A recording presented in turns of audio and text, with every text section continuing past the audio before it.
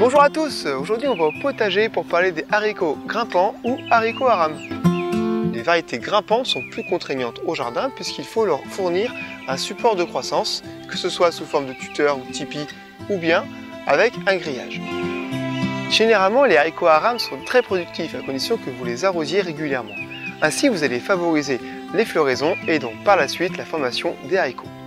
Dans le type haricot vert, choisis Montebello et dans le type haricot beurre, montez Gusto.